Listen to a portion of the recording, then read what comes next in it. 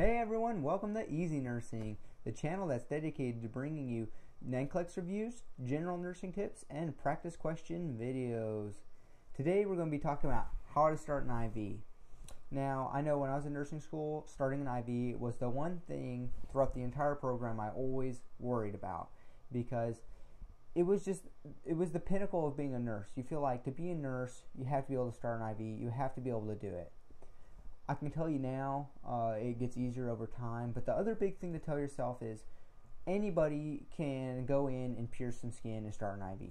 A nurse is a lot more than just being able to do that one particular skill. There's a lot more knowledge that goes behind it than just starting an IV. So if you're still having difficulties, uh, when you finish nursing school, you still have plenty and plenty of time to learn how to start an IV.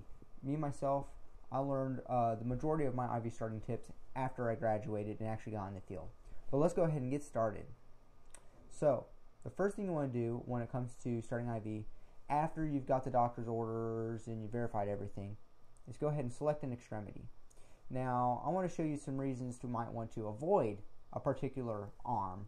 Uh, you can see if a patient is a dialysis patient and they have a dialysis site, you want to avoid this arm entirely because you don't want to accidentally cause damage to any of the dialysis site itself.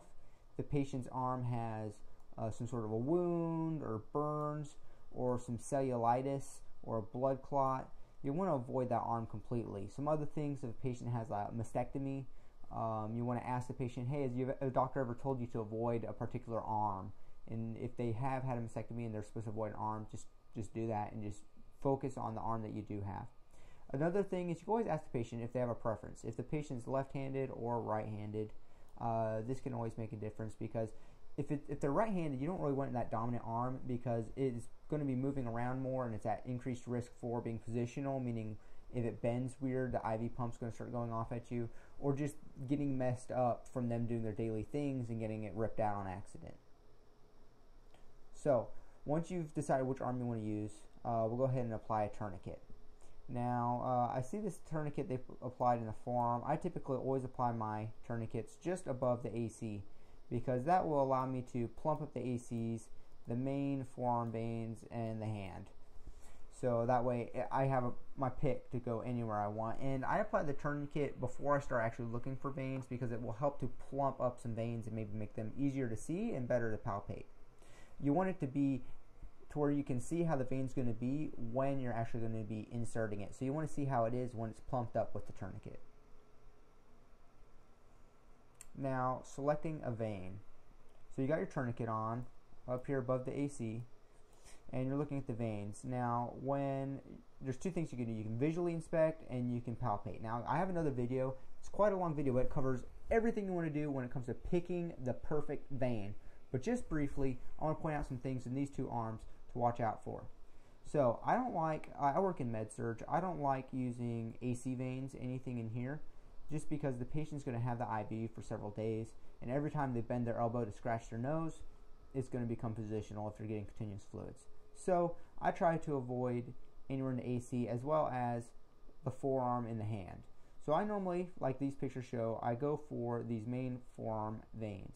So when I'm visually inspecting, I want to make sure that they're nice and straight. And you can see these ones here are nice and straight.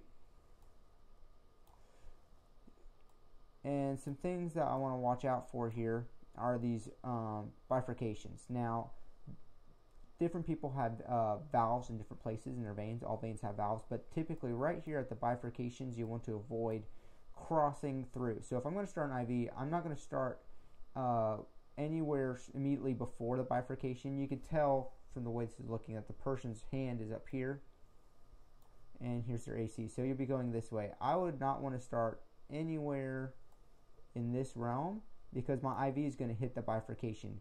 So anywhere in here is good for the start an IV. Anywhere in here, probably avoid anywhere around this bifurcation. So you could probably start it here, and you can go up to here, and it's not going to be a problem because it's going to be in between them. But you want to just watch for these bifurcations. Typically start just above them. So you could start here. Any of this would be good. Same story goes for here. You can see the bifurcation right here. Uh, looks like there may be one here. Definitely one right here. Here's a bifurcation. You want to avoid these sites, so I could definitely start an IV any of these straight spots because you want it to be nice and straight when it goes in. Alright, so you decided which vein you want to go for. Let's prepare our equipment. So, let's real quick talk about IV sizes. Now, looking at these colors, these are the same colors in my facility. They may differ from yours. Yellows are going to be our 24 gauge. This is the tiny baby. Okay, this is um, worst case scenario. You got 22s, which are uh, my personal favorite. You have 20s, and then you have 18s. Now, if a patient is in the ER or they're going to surgery or they're going to need a blood transfusion, you definitely want to aim for these larger size IVs. If you're unable to get these, and sometimes it's nice just to have them because if you're going to start an IV and you can get one of these easily, go for it because worst case scenario in an emergency, you have it already. If you just can't get it, uh, I've seen 22s used for blood transfusions in non emergent situations if that's all we can get, and 24s are just worst case scenario. So, uh, why would you pick one size over another? Just look at the size of the veins in the patient and also the length. Remember, I told you there's these bifurcations. If you don't have much room in between and the patient has lots of squiggles and bifurcations, and this may be the only good spot, you may only be able to squeeze a 24 in there um, or 22. And so you can be limited by how veiny uh, and how twisted the veins are in the patient. So other uh, things you'll see in your kit, you got a saline flush. You're going to hook this up to the tubing that you're going to connect actually to the catheter itself. You can see someone here has their IV and their kit. Now what comes in this kit? You have what's called a tegaderm. This is just a clear transparent uh, dressing. Some tape to help reinforce it, your tourniquet, and some stuff to clean. Alcohol in case you make a little bit of a mess with the blood. Alright, so we got our equipment ready. Basically, all you got to do is open some things up and hook your flush, get the bubbles out, and hook it up to your tubing, and you're ready to roll. Okay, so we return the kit to the patient, and we want to go ahead and clean the site. So we'll use the, the cleaner that's included in the kit, uh, and basically just rub back and forth. I'm also going to keep a couple of these handy. Uh, these are just the alcohol wipes because if I'm messing with the arm and working with it and accidentally touch it, I want to be able to just real quick clean it off.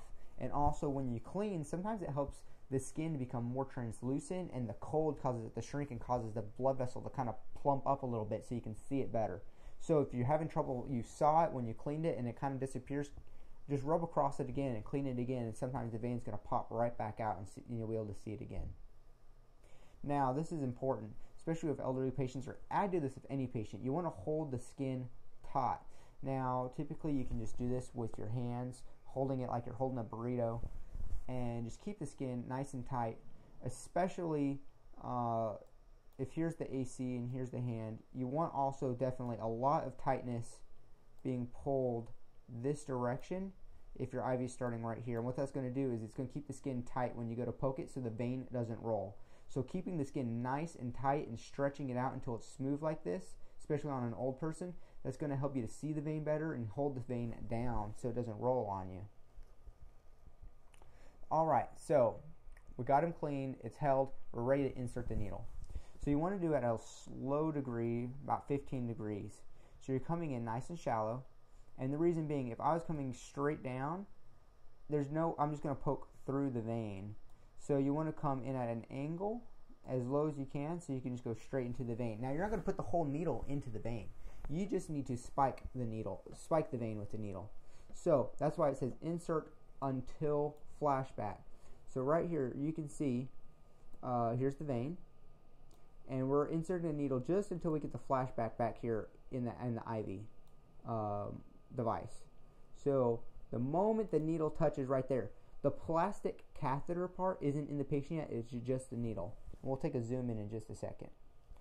So let's take that zoom in. Here's the vein. You can see just the needle has touched the vein. The actual plastic catheter part, and you can see this here. So you got a plastic catheter, and then you got the needle right at the tip. See how much gap is between the catheter and the needle? So you need to, once you poke the vein, get the flashback. This is very important here. You just poked it. You need to go in just minutely. See that tiny little bit between the catheter and the needle? You need to poke just enough that just the tip of the catheter is in the vein. So you're going to insert the vein. Say say this is how much you insert. You're in, in far this far into the patient's skin, and you just get your flashback. You want to pause there, take a deep breath, and go in just that much more, just the tiniest bit more to get the catheter to go in. And you're not going to feel anything. You're not going to see anything. So you go in, you get flashback, stop, and then push it in. Just it's about a millimeter that's all it is. So look at a calculator if you don't know how big that is. Just a millimeter. Once you're there, then you'll advance the catheter. Now when I say advance the catheter, you're not moving the needle anymore. So this is going to be all stationary. At this point, you take your hands and pinch this pink part here and just slowly push it in. If it does not go in, this is the big thing. If it does not go in and it's fighting resistance, don't push too hard or you're going to push the vein off of the needle. Instead, push just a little bit more with the uh, with the needle, then try the catheter again, and just do this until you finally get the catheter all the way in. It should go in nice and smooth. How do you know if the needle's in too far? If it goes in too far, you're going to see big bruising swelling around the arm. If that's the case, next time you start an IV, put that little extra, push less.